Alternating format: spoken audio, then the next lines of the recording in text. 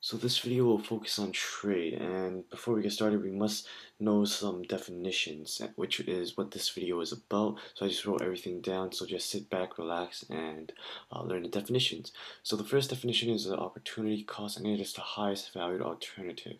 So pretty much uh, let's say for example that you have two alternatives. One is to study for tomorrow's test and uh, the the second alternative is to go skiing with your friends.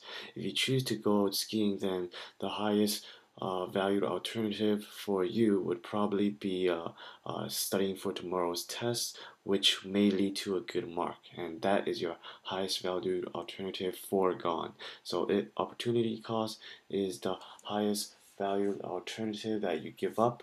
So, just forgot to put the foregone here foregone. So it's the highest uh, valued alternative that you give up.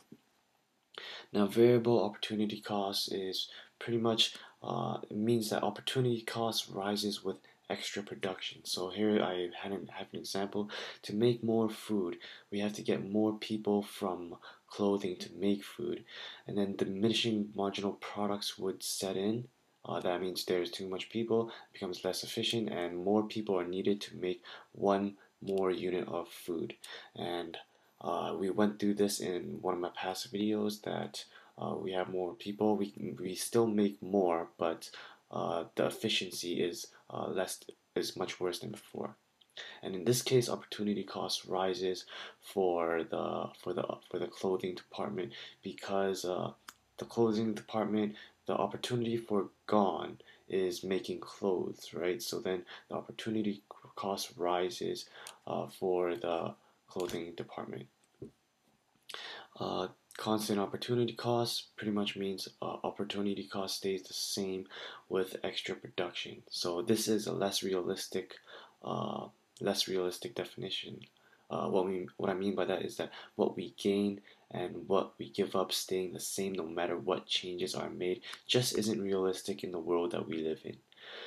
And here I have the formula in green for opportunity cost. Pretty much it's what we get what, or what we lose over what we gain. So for the variable opportunity cost, um, if uh, it, where what we lose is we lose people uh, making clothes. So uh, if we have if we take a lot of people from the clothing department to make food, then uh, we, lo- we lose a lot of food, and what we gain is we're getting less and less. So then uh, we're pretty much taking a higher number and dividing by a number that's getting smaller and smaller, and that's what causes the opportunity cost to rise. So say this was 2, and this was uh, what we lose is 2, what we gain is 2, uh, we have 1, and then we take more people, and uh, we take more people and what we lose is uh, rises to 10 and what we gain falls to uh, 1 and then the opportunity cost rises to 10.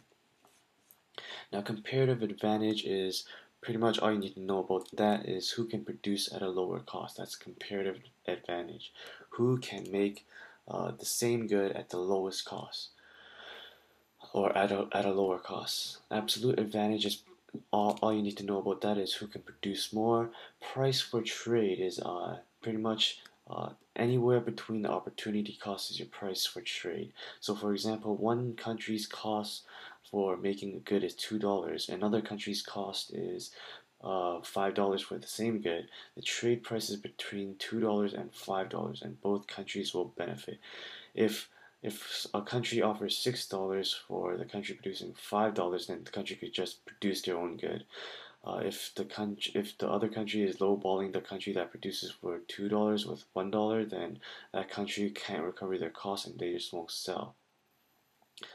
Now, the last definition is specialization, and that is uh, based on comparative advantage. And the definition for that is that the country focuses on lower cost productions and trade for good. So, an example for this is that uh, the opportunity cost for growing potatoes in Idaho is less than anywhere else. So, uh, Idaho specializes in uh, growing potatoes. So, Idaho, uh, their uh, their, their productions of potatoes are the lowest compared to anywhere else. So they have a comparative advantage and they can produce the good at a lower cost than anyone else. So they specialize in growing potatoes and selling these potatoes to the to the other places that cannot produce at us at at such a low cost. And this is all I want to go through in this video. Uh, please keep, please rate, comment, and subscribe if you uh, like these videos. It uh, really help. And I'll see you in the next video.